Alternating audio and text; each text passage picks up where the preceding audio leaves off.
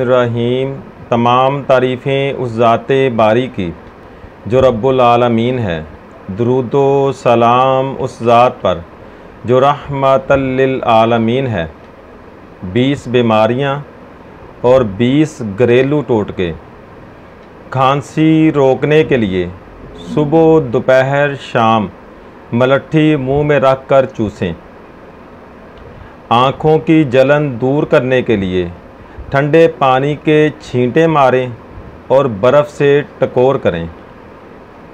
ज़ख़म की सूजन दूर करने के लिए जला प्याज, उसमें हल्दी मिलाकर लेप बनाइए, उसे फिर ज़ख़म पर लगाइए।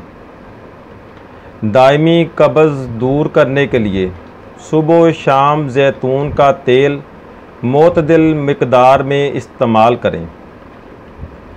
पेट के जुमला अमराज रोकने के लिए इस बगोल का छिलका बिला नागा इस्तेमाल करें। हिचकी रोकने के लिए देसी घी में सूजी का हलवा बनाकर खाइए या मुँह में बर्फ़ की डली रखें या आहिस्ता आहिस्ता गंडेरियाँ चूसें। बच्चों को बुखार ज़्यादा हो जाए तो फ़ौर नहला दें। या ठंडे पानी की पट्टियाँ करें। दस्त और कै रोकने के लिए सौंफ और पुदीने का कहवा बनाकर पीजिए। पाँव नरमो मुलायम करने के लिए सोने से 10 मिनट पहले पाँव ताज़ा पानी में भिगोइए। इस पानी में चंद कतने रोगने जैतून और थोड़ा सा नमक मिला लें। खुश करके पेट्रोलियम जेली या सरसों का तेल लगाएँ। सर्दियों में नीम गर्म पानी इस्तेमाल करें कोलेस्ट्रोल कम करने के लिए एक एक चम्मच आंवला और मिश्री मिलाकर रोज़ाना सुबह निहार मुँह, एक गिलास पानी के साथ लें जहरीला कीड़ा काट देने की सूरत में लहसुन का तेल और शहद मिलाकर ज़ख़म वाली जगह पर लगाएँ।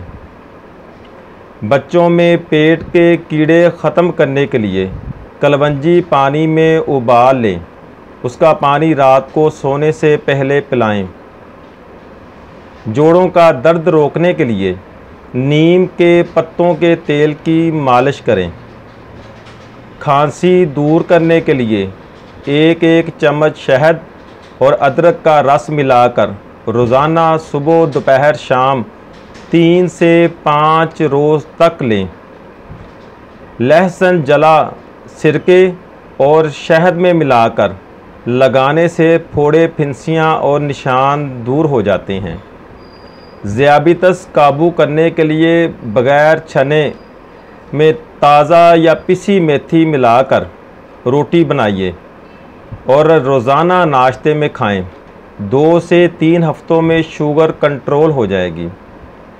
दांत का दर्द दूर करने के लिए लौंग का इस्तेमाल कीजिए। ब्लड प्रेशर काबू में लाने के लिए आड़ू फलियाँ, लोबिया मटर नाशपाती और केले का ज़्यादा इस्तेमाल करें। कोलेस्ट्रॉल की सतह कम करने के लिए जई का आटा और गाजर ज़्यादा खाइए। सौंफ का ज़्यादा इस्तेमाल आँखों की बेनाई तेज़ करता है।